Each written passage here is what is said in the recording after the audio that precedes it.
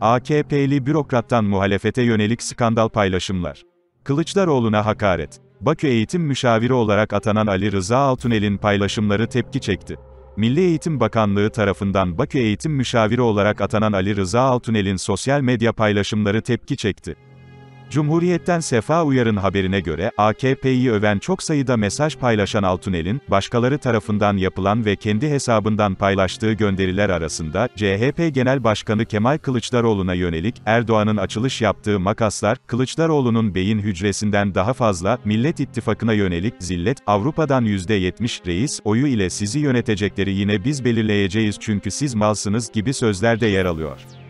Altunel, 20 Eylül'de sosyal medya hesabından Bakü Eğitim Müşaviri olarak atandığını duyurdu.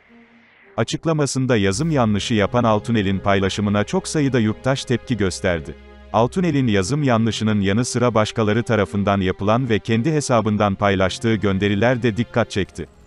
AKP ve Cumhurbaşkanı Recep Tayyip Erdoğan'ı öven paylaşımların da arasında bulunduğu içeriklerin bazıları şöyle. Sende bu yürek, bizde bu sevda oldukça değil 6'lı, 6 milyon 666 bin 666'lı masa olsa fark etmez, ezer geçeriz. 6 Plus, masanın hangi konularda ittifak kurduğuna karar vermesi lazım. Türkiye bugün barış diplomasisinin merkezi olma noktasında çok büyük adımlar atarken bu başarıları sırf iktidar olma uğruna küçümseyecek bir yaklaşımda mı ittifak ettiniz? Kendini rezil ettin, ülkesinin tarihini bilmeyen Bay Kemal gaflet, dalalet ve hatta hıyanet içerisinde olan birisi varsa o da sensin. Sen önce kendi geçmişini bir sorgula. Haddini bil Tunç Soyer. Zillette çarşı pazar karıştı gibi görünse de külliyen yalan.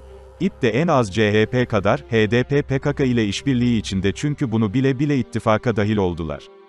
Çatır çatar çatlatacağız sizi. Avrupa'dan %70 reis oyu ile sizi yönetecekleri yine biz belirleyeceğiz çünkü siz malsınız, mal. İyi ile kötüyü ayıracak kapasite yok sizde. Milletin kucağına oturanlar İmam Hatiplilere sapık diyor. LPG'lileri, savunanlar İslam'ı öğreten vakıflara ahlaksız diyor. Yönettikleri belediyelerde çalanlar, rüşvet almadan iş yapmayanlar AK Partililere hırsız diyor. Tıpkı atalarımızın dediği gibi kişi kendinden bilir işi. Fatih Tezcan tutuklanınca, yaşasın bağımsız Türk yargısı, Gülşen tutuklanınca, sarayın yargısı. Hadi oradan. 110 sene önce koca bir imparatorluğu yıkan İttihat Terakki ne ise bugünkü altılı masada odur. Erdoğan'ın açılış yaptığı makaslar, Kılıçdaroğlu'nun beyin hücresinden daha fazla.